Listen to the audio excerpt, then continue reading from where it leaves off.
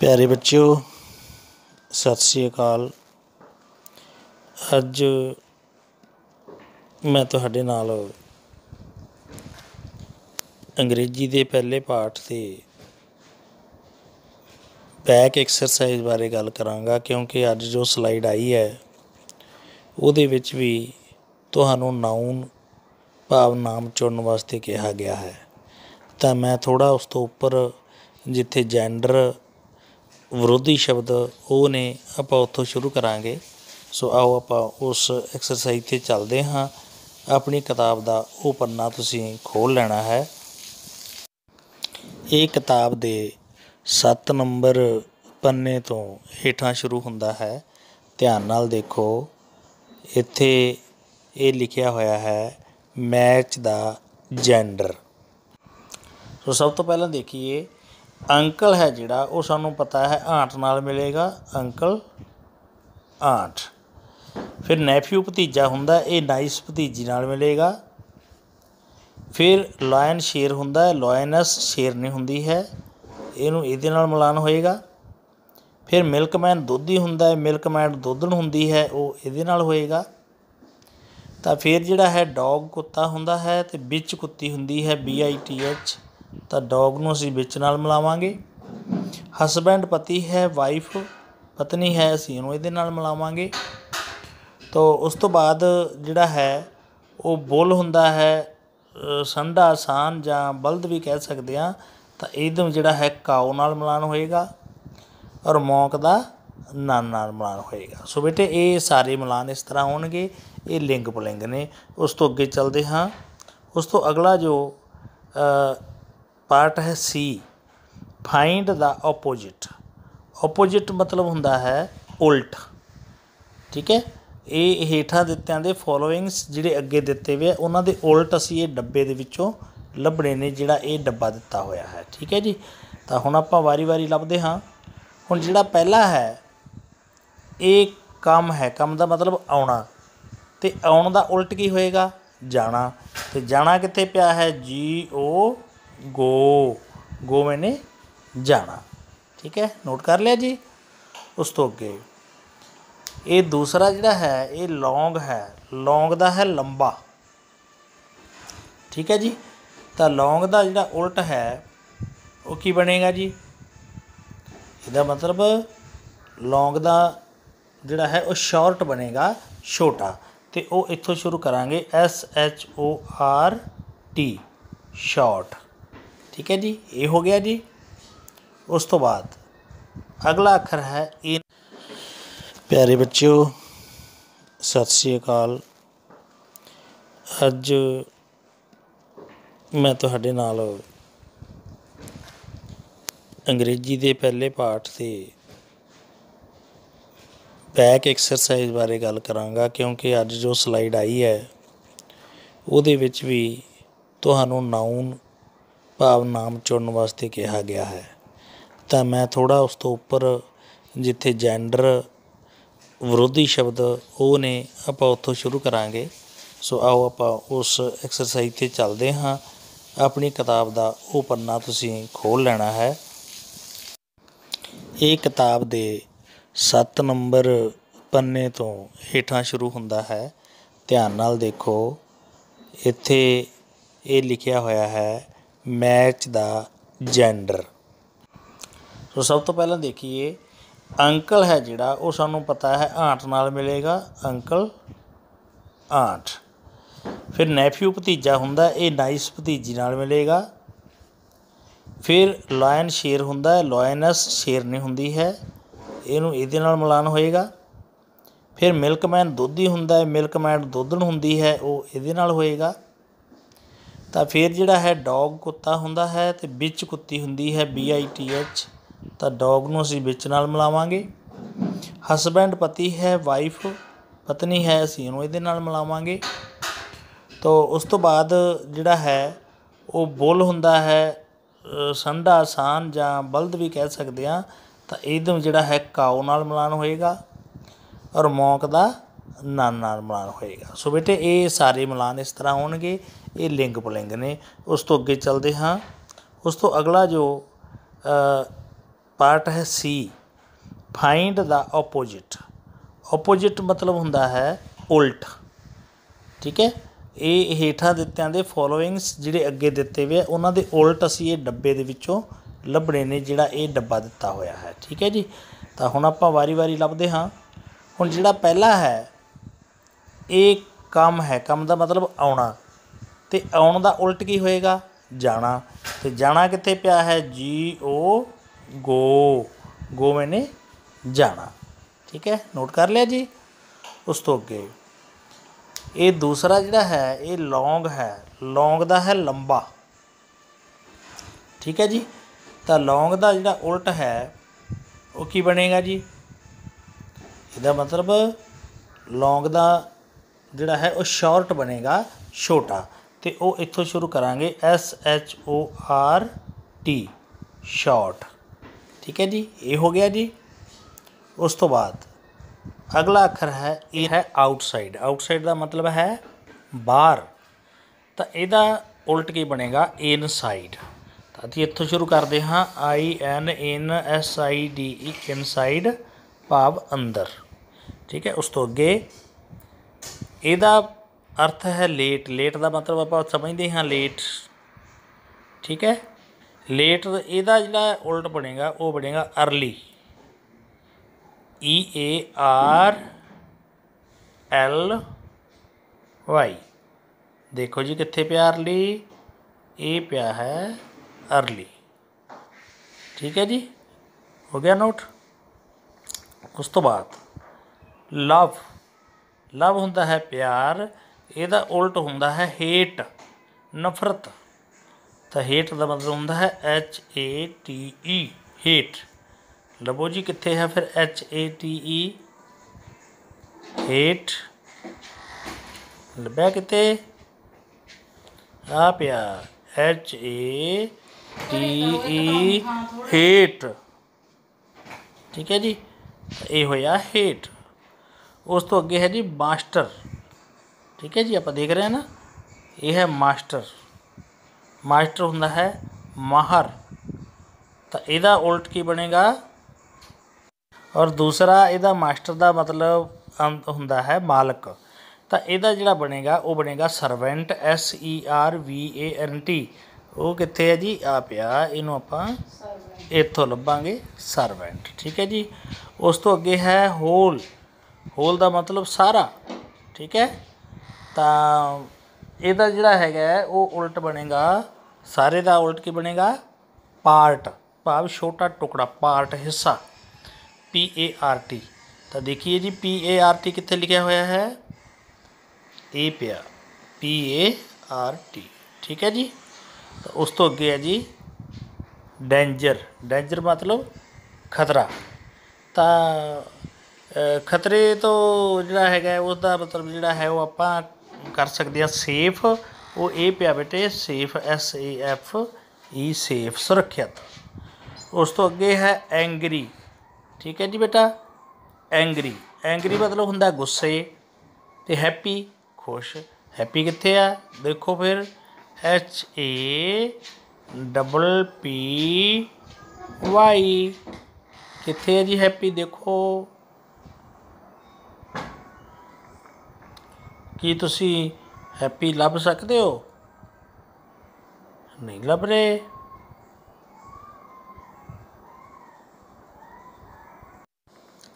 ਤੋ ਐਂਗਰੀ ਗੁੱਸੇ ਦਾ ਵਿੱਚ ਦੂਸਰਾ ਸ਼ਾਂਤ ਵੀ ਹੋ ਸਕਦਾ ਹੈ, ਜਿਹਦਾ ਆਪਾਂ ਬਣਾ ਸਕਦੇ ਹਾਂ ਸੀ ਏ ਐਲ ਐਮ ਕਾਮ। ਇਹ ਬਣੂਗਾ ਜੀ। ਠੀਕ ਹੈ ਜੀ, ਕਾਮ। ਤੋ ਅੱਗੇ ਚੱਲਦੇ ਹਾਂ।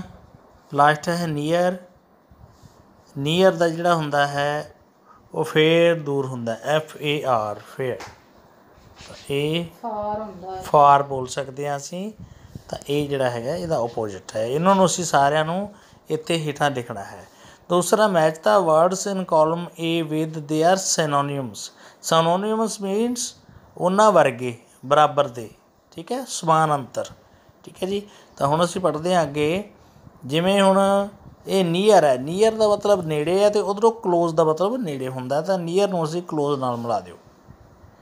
ਫਾਸਟ ਦਾ ਮਤਲਬ ਤੇਜ਼ ਹੁੰਦਾ ਹੈ। ਇਸੇ ਤਰ੍ਹਾਂ ਹੀ ਰੈਪਿਡ ਦਾ ਮਤਲਬ ਵੀ ਤੇਜ਼ ਹੁੰਦਾ ਹੈ। ਬੇਟੇ ਨਾਲ ਨਾਲ ਕਾਪੀ ਤੇ ਇਹਨਾਂ ਦੇ ਅਰਥ ਲਿਖਦੇ ਜਾਇਓ ਤਾਂ ਕਿ ਤੁਹਾਨੂੰ ਸੌਖਾ ਰਵੇ। ਰੈਪਿਡ ਵੀ ਫਾਸਟ ਰੈਪਿਡ ਤਾਂ ਡਿਜੀਜ਼ ਹੁੰਦੀ ਹੈ, ਬਿਮਾਰੀ ਇਲਨੈਸ ਵੀ ਬਿਮਾਰੀ ਹੁੰਦੀ ਹੈ। ਆਪਾਂ ਇਲ ਵਾਲੀ ਅਰਜੀ ਲਿਖਦੇ ਨਾ ਆਈ ਐਮ ਇਲ ਮੈਂ ਬਿਮਾਰ ਹਾਂ। ਤਾਂ ਡਿਜ਼ੀਜ਼ ਬਿਮਾਰੀ ਇਲਨੈਸ ਵੀ ਬਿਮਾਰੀ ਹੁੰਦੀ ਹੈ। ਬਿਗਿਨ ਹੁੰਦਾ ਸ਼ੁਰੂ ਕਰਨਾ ਔਰ ਸਟਾਰਟ ਵੀ ਸ਼ੁਰੂ ਕਰਨਾ ਹੁੰਦਾ ਹੈ। ਹੈਪੀ ਦਾ ਜਿਹੜਾ ਹੈ, ਉਹ ਗਲੈਡ ਹੁੰਦਾ ਹੈ। ਗਲੈਡ ਗਲੈਡ ਮਤਲਬ ਵੀ ਹੈਪੀ ਹੁੰਦਾ ਠੀਕ ਹੈ ਬੇਟੇ? ਤਾਂ ਇਸ ਤਰ੍ਹਾਂ ਕਰਕੇ ਤੁਸੀਂ ਇਹਨੂੰ ਜਿਹੜਾ ਆਪਣਾ ਕਰਨਾ ਹੈ। ਉਸ ਤੋਂ ਬਾਅਦ ਅੱਗੇ ਦੇਖਦੇ ਹਾਂ। ਆਪਾਂ ਇਹ ਦੇਖਿਓ language corner name the following picture ਜਿਹਨਾਂ ਦੇ ਨਾਮ ਲਿਖਣੇ ਆ ਹੁਣ ਇਹ ਕੀ ਹੈ ਜੀ? ਇਹ ਆਪਾਂ ਪਤਾ ਡੀ ਓ ਜੀ ਡੌਗ ਹੈ। ਠੀਕ ਹੈ ਜੀ ਡੀ ਓ ਜੀ ਡੌਗ ਤਾਂ ਉਸ ਤੋਂ ਅੱਗੇ ਇਹ ਕੀ ਹੈ? ਇਹ ਟੀਚਰ ਹੈ। T E A C H E R teacher ਠੀਕ ਹੈ ਬੇਟਾ, ਇਹ ਟੀਚਰ ਹੈ। ਉਸ ਤੋਂ ਬਾਅਦ ਅੱਗੇ ਇਹ ਕੀ ਹੈ? ਇਹ ਬੇਟੇ ਤਾਜ ਮਹਿਲ ਹੈ। ਤਾਜ ਜਿਹਨੂੰ ਆਪਾਂ ਕਹਿੰਦੇ ਹਾਂ ਨਾ, ਤਾਜ ਮਹਿਲ। ਉਸ ਤੋਂ ਅੱਗੇ ਇਹ ਕੀ ਹੈ? ਇਹ ਸਕੂਟਰ ਹੈ। ਠੀਕ ਹੈ ਬੇਟਾ, ਇਹਨੂੰ ਸਕੂਟਰ ਲਿਖਦੇ ਹਾਂ। ਠੀਕ ਹੈ। ਤਾਂ ਉਸ ਤੋਂ ਬਾਅਦ ਕੀ ਹੈ? ਅੱਗੇ ਇਹ ਕੀ ਹੈ? ਇਹ ਹੋਮ ਜਾਂ ਹਾਊਸ ਆਪਾਂ ਕਹਿ ਸਕਦੇ ਹਾਂ ਘਰ H O U S E house ਠੀਕ ਹੈ ਬੇਟਾ? ਤਾਂ ਇਹ ਕੀ ਹੈ? ਇਹ ਗਰਲ ਤਾਂ ਇਹ ਸਾਰੇ ਆਪਾਂ ਕੀ ਲਿਖੇ ਆ ਇਹਨਾਂ ਦੇ? ਨਾਮ ਲਿਖੇ ਆ ਨਾ? ਆਪਾਂ ਕੀ ਲਿਖਿਆ ਇਹਨਾਂ ਦੇ? ਨਾਮ ਲਿਖੇ ਆ। ਤਾਂ ਜਿਹੜੇ ਇਹ ਕਿਸੇ ਦਾ ਵੀ ਇਸ ਤਰ੍ਹਾਂ ਨਾਮ ਹੁੰਦਾ ਹੈ ਨਾ, ਤਾਂ ਉਹਨੂੰ ਅਸੀਂ ਨਾਉਨ ਕਹਿੰਦੇ ਆ ਪੰਜਾਬੀ 'ਚ ਨਾਮ ਕਹਿੰਦੇ ਆ ਤਾਂ ਕਿਸੇ ਸਥਾਨ, ਵਸਤੂ, ਹੈ ਜਾਂ ਕਿਸੇ ਚੀਜ਼ ਦਾ, ਵਸਤੂ ਦਾ, ਸਥਾਨ ਦਾ, ਬੰਦੇ ਦਾ, ਇਹ ਸ਼ਹਿਰ ਦਾ, ਇਹ ਜਿਹੜਾ ਨਾਮ ਹੁੰਦਾ ਹੈ, ਇਹਨੂੰ ਅਸੀਂ ਨਾਮ ਕਹਿੰਦੇ ਆ। ਠੀਕ ਹੈ ਬੇਟਾ? ਤਾਂ ਉਸ ਤੋਂ ਅੱਗੇ ਚੱਲਦੇ ਹਾਂ। ਇਹ ਜਿਵੇਂ ਇਹਨਾਂ ਦੇ ਵਿੱਚ ਹੁਣ ਅਸੀਂ ਨਾਉਨ ਚੁਣਦੇ ਆ ਠੀਕ ਹੈ ਅੰਡਰਲਾਈਨ ਕਰਨੇ ਆ ਨਾਉਨ ਹੁਣ ਇਹਦੇ ਵਿੱਚ ਦੇਖੋ। The dog is a faithful animal ਇੱਕ ਤਾਂ ਡੌਗ ਨਾਮ ਹੋ ਗਿਆ, ਦੂਸਰਾ ਐਨੀਮਲ ਨਾਮ ਹੋ ਗਿਆ, ਠੀਕ ਹੈ? ਉਸ ਤੋਂ ਬਾਅਦ ਮੋਤੀ ਕਿਲਰ ਦਾ ਸਨੇਕ ਮੋਤੀ ਵੀ ਨਾਉਨ ਹੋ ਗਿਆ ਤੇ ਸਨੇਕ ਵੀ ਨਾਉਨ ਹੋ ਗਿਆ। ਫਿਰ Mumbai is a big city ਇੱਕ ਮੁੰਬਈ ਨਾਉਨ ਹੈ, ਫਿਰ ਸਿਟੀ ਨਾਉਨ ਹੈ, ਠੀਕ ਹੈ? ਫਿਰ Sharan is playing football Sharan we noun ਹੈ ਤੇ ਫੁੱਟਬਾਲ ਵੀ ਨਾਉਨ ਹੈ। ਕਿਤੇ ਕਿਸੇ ਚੀਜ਼ ਦਾ ਨਾਮ ਹੈ ਨਾ? ਮਾਈ ਟੀਚਰ ਟੀਚਰ ਵੀ ਨਾਉਨ ਹੈ। ਠੀਕ ਹੈ ਬੁੱਕ ਵੀ ਨਾਉਨ ਹੈ। ਠੀਕ ਹੈ ਬੇਟਾ, ਤਾਂ ਇਹ ਜਿਹੜੇ ਹੈਗੇ ਆ, ਇਹਨਾਂ ਨੂੰ ਅਸੀਂ ਨਾਉਨ ਕਹਿੰਦੇ ਆ। ਅੱਜ ਲਈ ਇੰਨਾ ਹੀ। ਕੱਲ ਨੂੰ ਆਪਾਂ ਸਪੈਸ਼ਲ ਨਾਉਨ ਤੇ ਕਾਮਨ ਨਾਉਨ ਇਹਨਾਂ ਬਾਰੇ ਗੱਲ ਕਰਾਂਗੇ। ਤੁਹਾਡਾ ਬਹੁਤ ਬਹੁਤ ਧੰਨਵਾਦ। ਇਹ ਹੈ ਆਊਟਸਾਈਡ ਆਊਟਸਾਈਡ ਦਾ ਮਤਲਬ ਹੈ ਬਾਹਰ। ਤਾਂ ਇਹਦਾ ਉਲਟ ਕੀ ਬਣੇਗਾ? ਇਨਸਾਈਡ ਅਸੀਂ ਇੱਥੋਂ ਸ਼ੁਰੂ ਕਰਦੇ ਹਾਂ। I N in S I D E inside ਭਾਵ ਅੰਦਰ। ਠੀਕ ਹੈ, ਉਸ ਤੋਂ ਅੱਗੇ। ਇਹਦਾ ਅਰਥ ਹੈ ਲੇਟ ਲੇਟ ਦਾ ਮਤਲਬ ਆਪਾਂ ਸਮਝਦੇ ਹਾਂ ਲੇਟ ਠੀਕ ਹੈ ਲੇਟ ਇਹਦਾ ਜਿਹੜਾ ਉਲਟ ਬਣੇਗਾ, ਉਹ ਬਣੇਗਾ early E A R L Y ਦੇਖੋ ਜੀ ਕਿੱਥੇ ਪਿਆ ਅਰਲੀ ਇਹ ਪਿਆ ਹੈ ਅਰਲੀ ਠੀਕ ਹੈ ਜੀ? ਹੋ ਗਿਆ ਨੋਟ ਉਸ ਤੋਂ ਬਾਅਦ ਲਵ ਲਵ ਹੁੰਦਾ ਹੈ ਪਿਆਰ, ਇਹਦਾ ਉਲਟ ਹੁੰਦਾ ਹੈ ਹੇਟ ਨਫ਼ਰਤ. ਤਾਂ ਹੇਟ ਦਾ ਮਤਲਬ ਹੁੰਦਾ ਹੈ H A T E hate ਲਵੋ ਜੀ ਕਿੱਥੇ ਹੈ ਫਿਰ H A T E hate ਲੱਭਿਆ ਕਿਤੇ ਆ ਪਿਆ H A T E hate ਠੀਕ ਹੈ ਜੀ? ਇਹ ਹੋਇਆ ਹੇਟ ਉਸ ਤੋਂ ਅੱਗੇ ਹੈ ਜੀ ਮਾਸਟਰ। ਠੀਕ ਹੈ ਜੀ? ਆਪਾਂ ਦੇਖ ਰਹੇ ਹਾਂ ਨਾ। ਇਹ ਹੈ ਮਾਸਟਰ। ਮਾਸਟਰ ਹੁੰਦਾ ਹੈ ਮਾਹਰ। ਤਾਂ ਇਹਦਾ ਉਲਟ ਕੀ ਬਣੇਗਾ? ਔਰ ਦੂਸਰਾ ਇਹਦਾ ਮਾਸਟਰ ਦਾ ਮਤਲਬ ਅੰਤ ਹੁੰਦਾ ਹੈ ਮਾਲਕ। ਤਾਂ ਇਹਦਾ ਜਿਹੜਾ ਬਣੇਗਾ ਉਹ ਬਣੇਗਾ servant S E R V A N T ਉਹ ਕਿੱਥੇ ਹੈ ਜੀ? ਆ ਪਿਆ ਇਹਨੂੰ ਆਪਾਂ ਇੱਥੋਂ ਲੱਭਾਂਗੇ ਸਰਵੈਂਟ, ਠੀਕ ਹੈ ਜੀ? ਉਸ ਤੋਂ ਅੱਗੇ ਹੈ ਹੋਲ ਹੋਲ ਦਾ ਮਤਲਬ ਸਾਰਾ, ਠੀਕ ਹੈ? ਤਾਂ ਇਹਦਾ ਜਿਹੜਾ ਹੈਗਾ ਉਹ ਉਲਟ ਬਣੇਗਾ, ਸਾਰੇ ਦਾ ਉਲਟ ਕੀ ਬਣੇਗਾ? ਪਾਰਟ, ਭਾਵ ਛੋਟਾ ਟੁਕੜਾ, ਪਾਰਟ ਹਿੱਸਾ ਪੀ ਏ ਆਰ ਟੀ ਤਾਂ ਦੇਖੀਏ ਜੀ ਪੀ ਏ ਆਰ ਟੀ ਕਿੱਥੇ ਲਿਖਿਆ ਹੋਇਆ ਹੈ? ਇਹ ਪਿਆ ਪੀ ਏ ਆਰ ਟੀ ਠੀਕ ਹੈ ਜੀ? ਉਸ ਤੋਂ ਅੱਗੇ ਹੈ ਜੀ ਡੈਂਜਰ ਡੈਂਜਰ ਮਤਲਬ ਖਤਰਾ। ਤਾਂ ਖਤਰੇ ਤੋਂ ਜਿਹੜਾ ਹੈਗਾ ਉਸ ਦਾ ਮਤਲਬ ਜਿਹੜਾ ਹੈ, ਉਹ ਆਪਾਂ ਕਰ ਸਕਦੇ ਹਾਂ ਸੇਫ ਉਹ ਇਹ ਪਿਆ ਬੇਟੇ safe S A F E safe ਸੁਰੱਖਿਅਤ। ਉਸ ਤੋਂ ਅੱਗੇ ਹੈ ਐਂਗਰੀ ਠੀਕ ਹੈ ਜੀ ਬੇਟਾ? ਐਂਗਰੀ ਐਂਗਰੀ ਮਤਲਬ ਹੁੰਦਾ ਗੁੱਸੇ ਤੇ ਹੈਪੀ ਖੁਸ਼। ਹੈਪੀ ਕਿੱਥੇ ਆ? ਦੇਖੋ ਫਿਰ H A double P Y ਕਿੱਥੇ ਹੈ ਜੀ ਹੈਪੀ? ਦੇਖੋ। ਕੀ ਤੁਸੀਂ ਹੈਪੀ ਲੱਭ ਸਕਦੇ ਹੋ? ਨਹੀਂ ਲੱਭ ਰਹੇ।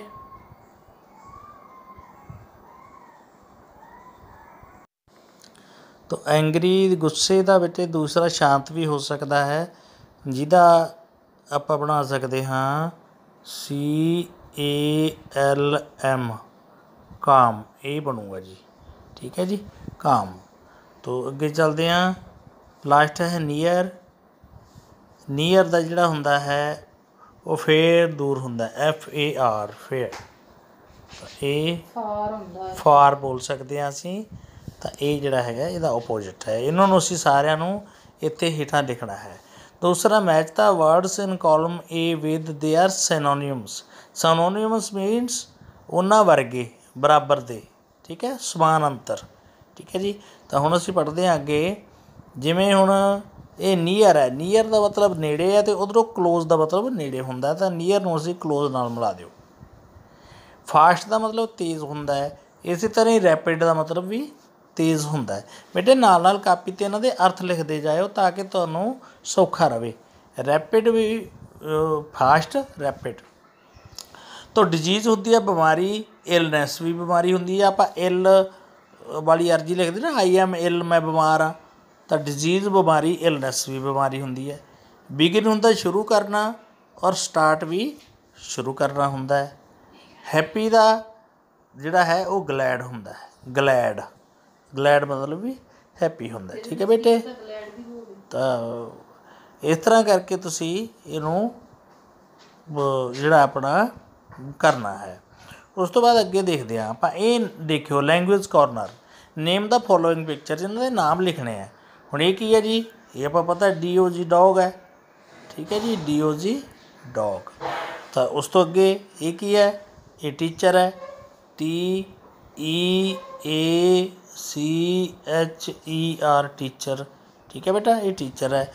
ਉਸ ਤੋਂ ਬਾਅਦ ਅੱਗੇ ਇਹ ਕੀ ਹੈ? ਇਹ ਬੇਟੇ ਤਾਜ ਮਹਿਲ ਹੈ। ਤਾਜ ਜਿਹਨੂੰ ਆਪਾਂ ਕਹਿੰਦੇ ਹਾਂ ਨਾ, ਤਾਜ ਮਹਿਲ। ਉਸ ਤੋਂ ਅੱਗੇ ਇਹ ਕੀ ਹੈ? ਇਹ ਸਕੂਟਰ ਹੈ। ਠੀਕ ਹੈ ਬੇਟਾ, ਇਹਨੂੰ ਸਕੂਟਰ ਲਿਖਦੇ ਹਾਂ। ਠੀਕ ਹੈ, ਤਾਂ ਉਸ ਤੋਂ ਬਾਅਦ ਕੀ ਹੈ? ਅੱਗੇ ਇਹ ਕੀ ਹੈ? ਇਹ ਹੋਮ ਜਾਂ ਹਾਊਸ ਆਪਾਂ ਕਹਿ ਸਕਦੇ ਹਾਂ ਘਰ। H O U S E house ਠੀਕ ਹੈ ਬੇਟਾ, ਤਾਂ ਇਹ ਕੀ ਹੈ? ਇਹ ਗਰਲ, ਤਾਂ ਇਹ ਸਾਰੇ ਆਪਾਂ ਕੀ ਲਿਖੇ ਆ ਇਹਨਾਂ ਦੇ? ਨਾਮ ਲਿਖੇ ਆ ਨਾ। ਆਪਾਂ ਕੀ ਲਿਖਿਆ ਇਹਨਾਂ ਦੇ? ਨਾਮ ਲਿਖੇ ਆ। ਤਾਂ ਜਿਹੜੇ ਇਹ ਕਿਸੇ ਦਾ ਵੀ ਇਸ ਤਰ੍ਹਾਂ ਨਾਮ ਹੁੰਦਾ ਹੈ ਨਾ, ਤਾਂ ਉਹਨੂੰ ਅਸੀਂ ਨਾਉਨ ਕਹਿੰਦੇ ਆ।